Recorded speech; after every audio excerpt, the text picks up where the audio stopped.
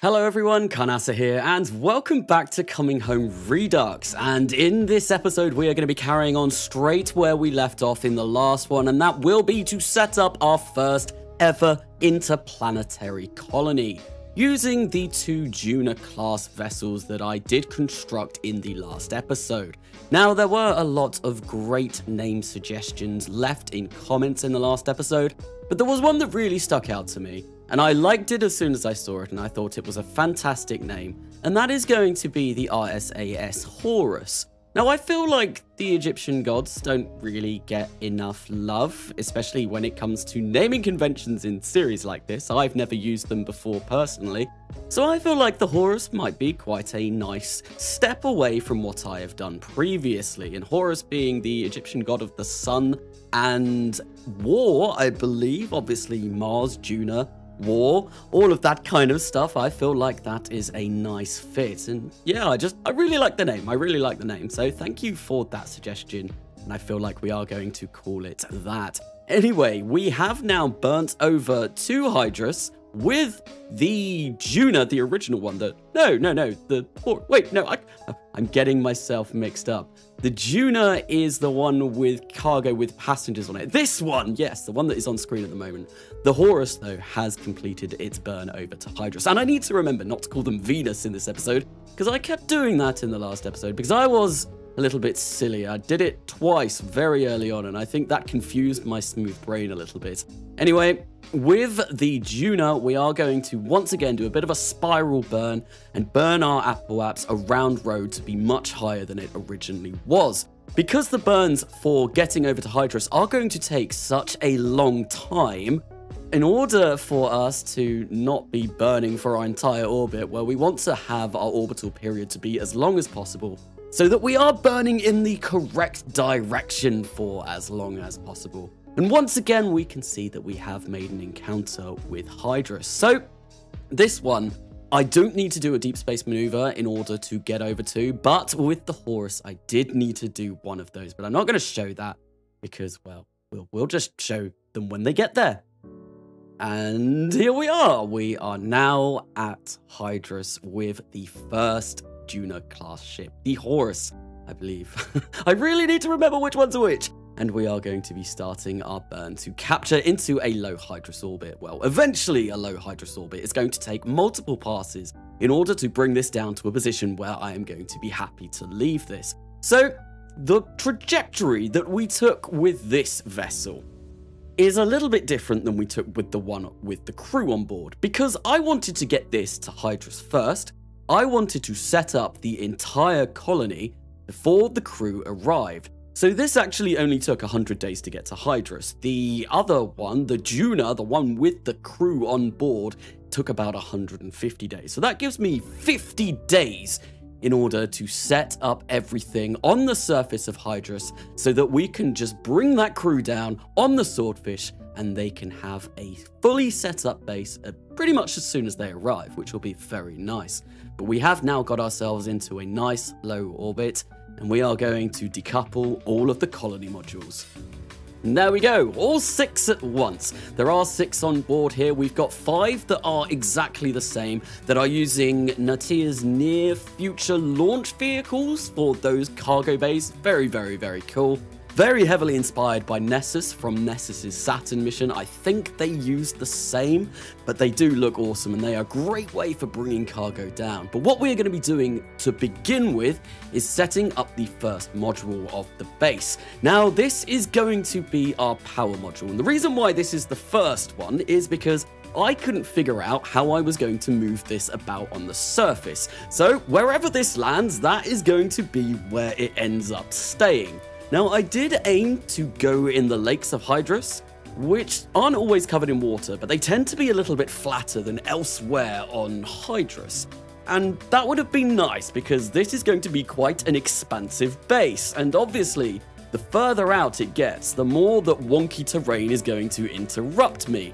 Unfortunately though, Trajectories was being a little bit weird and I landed somewhere completely different from where it was going to tell me, or where it told me that I was supposed to land, which was a bit of a shame.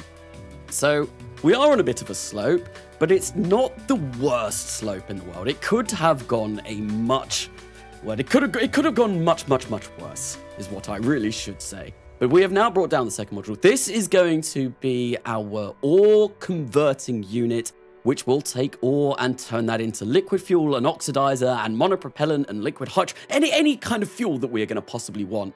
And that will be useful for when we want to relaunch the Swordfish and when we want to launch stuff from the surface of Hydrus into Hydrus's orbit. And you can see this does have a couple or four wheels on it so that we can maneuver this around. We are going to be bringing down a dedicated rover though in the next module that I bring down that will be able to move all of the other base parts together. This one was slightly different in the fact that it had its own wheels on board. But there we go, we have docked these two parts together, and I am going to remove those wheels later on. So the first part, I didn't even talk what that was about. It was a power module. It has a very large fission reactor on there, which is going to be more than sufficient to power the base for all of eternity, as soon as we set up uraninite production into enriched uranium. However, I do have something a little bit different on there as well. We want to test out some new technology far away from roads so we don't cause any sort of calamities or catastrophes on the surface of Rhodes. So at the very top of that reactor module, which we can see right now as the other module is being parachuted down, there is a fusion reactor. And we did bring along a little bit of liquid deuterium from Rhodes so that we can actually power that for about a year. I cannot produce any deuterium yet, but that is something that we will be looking into doing. And then hopefully we may even be able to run that fusion reactor on top of the base for eternity as well, which will be very nice. Anyway, this is the first of two command modules that is also going to contain all of the storage for the base. Yes, we needed so much storage that I had to bring two of these down, and this is the dedicated rover that is going to be moving around all of the base positions. I brought that down on board one of the command modules because it did fit rather nicely into the nose section of the Horus, which is what we have just brought down now. I do have to say, Docking these together was a complete nightmare. This is why this video took 24 hours, why I had 24 hours of footage. It was all of this faffing around, fiddling around, docking on the surface. Now, I don't mind docking in space anymore, but docking on the surface, when everything has to be perfectly lined up and you can't wiggle around with RCS or do anything like that, no, it's, it's a lot harder and it's a lot more tricky. Obviously, the last base that I did set up on the surface of Armstrong that was using MKS flexitubes, which you can just get Kerbals to connect those together. I wanted to do this base slightly different. No, this base I wanted to actually put together, and it was all some sort of rigid structure. That way, it looks a bit better. If I'm going to be completely honest, I think this looks a lot better, but it does take a lot more time, a lot more planning, and a lot more effort to actually make one of these because when you get down to the surface and things don't dock together properly, well, yeah, yeah, it's, it's just annoying. I had to do an awful lot of testing for this. So yeah, I, I keep bringing back 24 hours filming for, for this entire episode.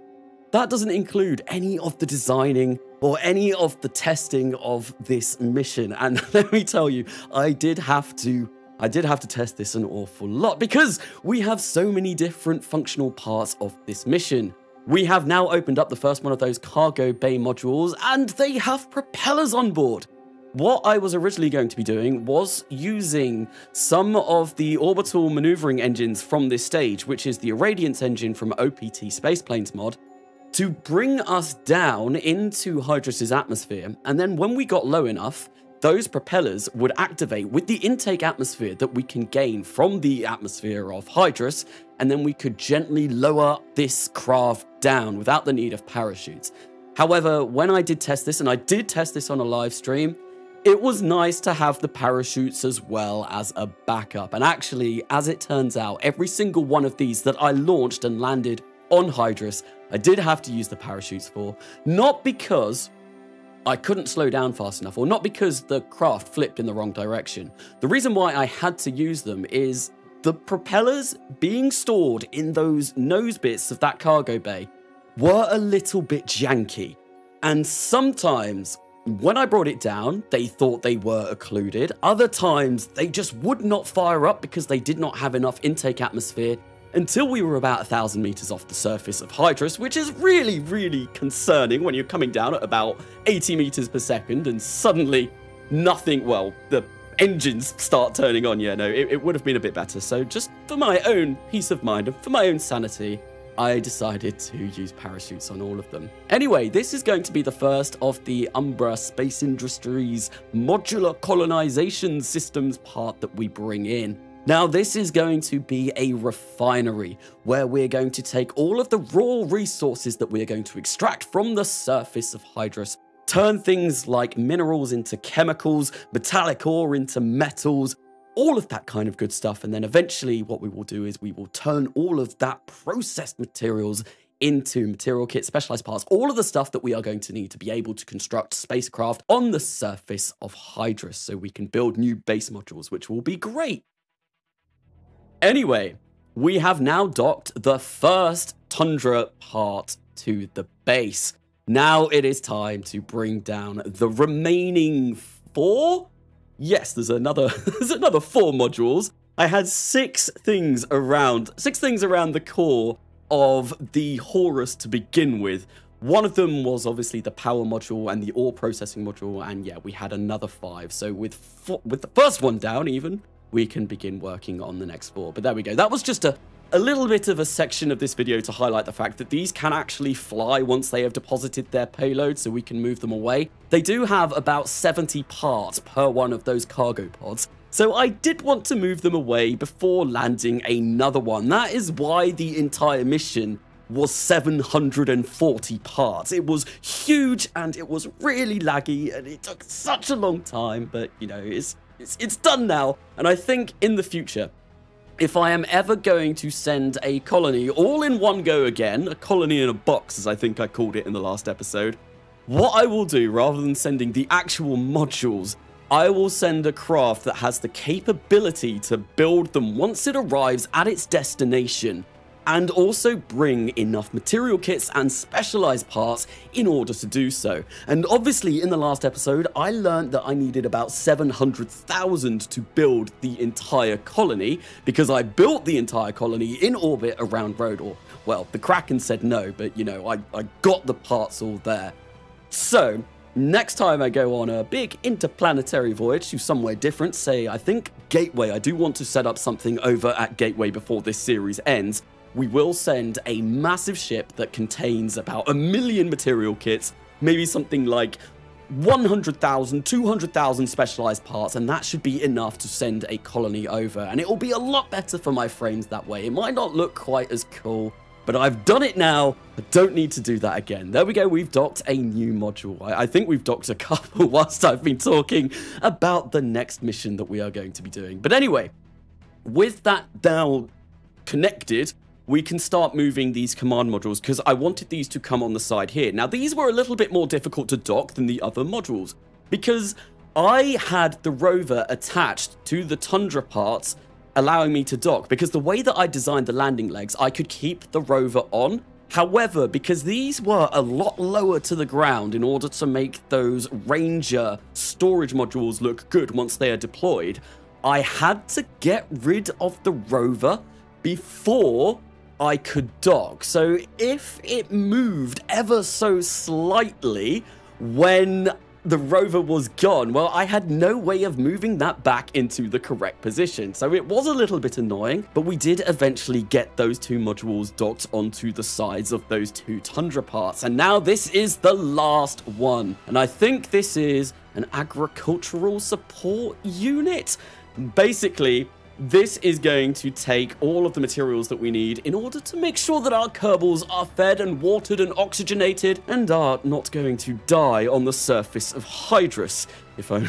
yes, that's what this is for. It's to keep them alive. And with that, that is actually going to be the last module that we sent over on the Horus. This is the entire Horus now disassembled and reassembled on the surface of Hydrus and it has been put down and we can deploy those ranger modules, extend the staircase, and the base is done.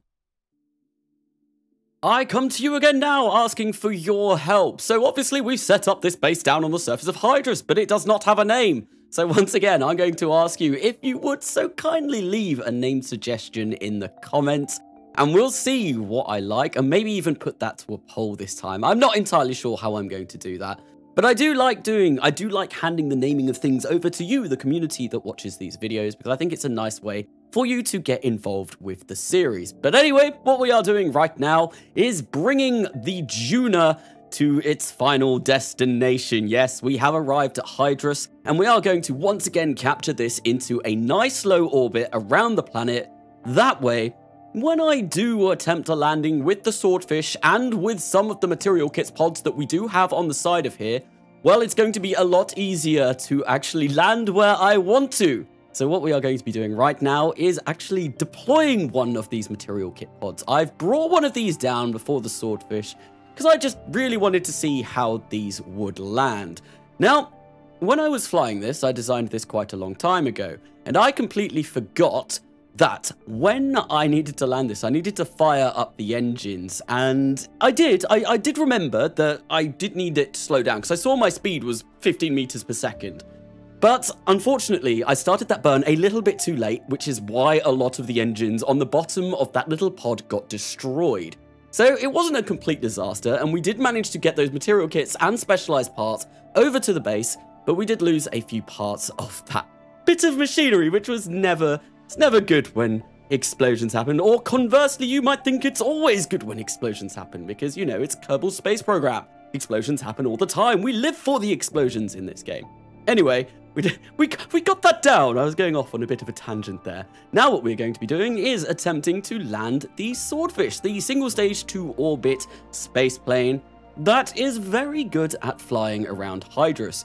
So you can see on the left-hand side of the screen, we're only using intake atmosphere. We also use electric charge, but there is a nuclear reactor in this space plane that means that we can fly this indefinitely. So it's going to be great for going on any kinds of excursions around the surface of Hydrus. And there we can see we have just flown past the colony, the yet to be named colony. Yes, that I asked for naming suggestions. And this was quite easy to actually fly around the surface of Hydrus. Hydrus has got a very weird atmosphere, I feel. It's very thick. Not not super thick, but it's it's about the same sort of volume, pressure, probably it's the word I'm looking for, as say like Rhode or Kerbin. And it just kind of dissipates quite quickly though, so it's really easy to get to orbit. Although that being said, I can fly this plane at about 25,000 meters quite comfortably, so maybe it doesn't dissipate quite quickly.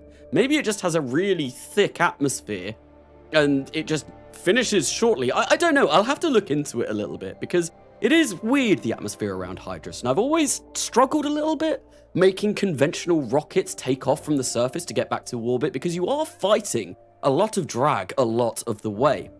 But with a single stage to orbit space plane that uses that atmosphere for its advantage, well, it can get, it can almost make orbit without actually burning any liquid fuel, which is fantastic. But we were able to get down to the base.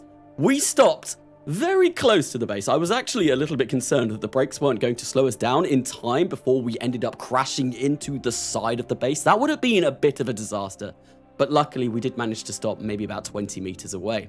So we got a Kerbal out, we planted that all-important flag, and we got rid of any useless things that were on the base. Like the docking ports, we're not going to need to dock them anymore, so we got rid of those and we built a lawnmower, or that's what people on the Discord seem to think this looked like. I did post a picture of this on the Discord. If you don't know about the Discord, there will be a link in the description of this video. Great place, go check it out. And yes, no, people thought this looked like a lawnmower. What this actually was, was a device to build a runway at a later date. But unfortunately, when we constructed this using extraplanetary launch pads, well, someone forgot to put the brakes on this thing, and because it wasn't controllable by a probe core, we could only control this with a Kerbal, I had to get that poor Kerbal out and chase it down the side of the hill as it was driving away, and we had no way to stop it, which was rather unfortunate, but we did manage to get that Kerbal on board after what looked like breaking his neck because that was a very weird landing on the stairs at one point. And yes, we did manage to stop it, and that is now going to go away. And in my mind, that is going to be digging up a nice area for a runway at a later date. I didn't need that vessel, I just thought it would be cool to, you know, have a vessel that looked like it had a bulldozer kind of thing on the front, and then that way we can picture it in our heads that that's gonna shift dirt. My name for it was the dirt mover, but no, we're definitely gonna go for the lawnmower. It, it cuts the grass around the base keeps it nice and pristine and in good condition. I'm not even sure if there's grass on Hydrus. I, I, don't think there is.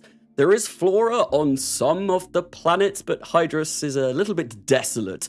It's very rocky. I think it's quite akin to Venus, if I'm going to be honest. But anyway, whilst I've been talking about cutting the grass on Hydrus, weird tangent there, what I did build was a nuclear processing unit, which also has place or a place to store supplies, because I forgot in my infinite wisdom, to actually have anywhere on the surface base that would contain supplies and mulch, which is what we need in order to keep our Kerbals alive. Really dumb of me, but luckily, with the material kits and specialized parts that we brought down, we were able to build up that nuclear processing unit, whack a storage container on the end that was going to have all of the supplies that we could ever want. And obviously, we did bring some supplies down on this space plane, on the Swordfish, and we transferred those over to the base using USI's local logistics. Now, I did want to go on a bit of a journey with this space plane because I, when I was bringing this down, I thought I saw some big lakes.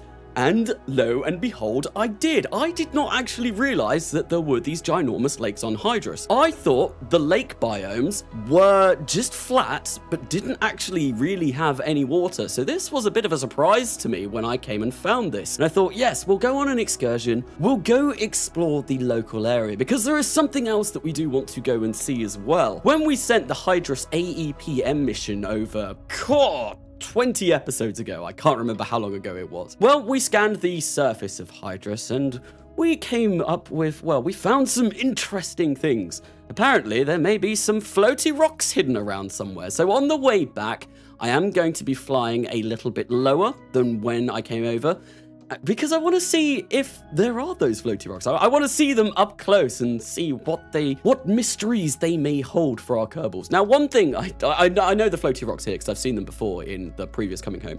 But one thing that I was potentially considering on planning on doing was maybe making a base on one of those. But it wasn't going to be this base because that would have been a nightmare to land all of the modules perfectly on it. But I think at a later date, I might make some sort of helicarrier style device that can lift up modules and take them and land them on top of one of these floating rocks. And I think that would be a really cool idea for another surface base on Hydrus. Not that we need another one, but you know, just do it for style points, really.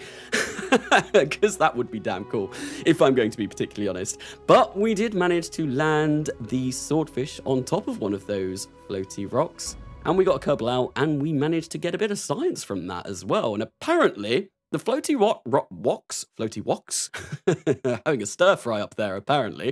The floating rocks are repellent to all magnets, I think the science fluff did say, so that's a bit of a weird property of those rocks. But as we can see, we are now bringing the swordfish back to the base, and oh boy, has the lawnmower been busy whilst we were gone. We have dug an entire runway, and somehow managed to build some hangars as well. Yes, I have been messing around with Kerbal Konstructs, and we we have got a place to store the swordfish and the lawnmower, which looks very nice, and a place to land. But that will be it for this episode. In the next one, we're going to make sure that this base is self-sufficient. And is it Vasto time? I think it's Vasto time. Anyway, I have been Carnasa, and I will see you later.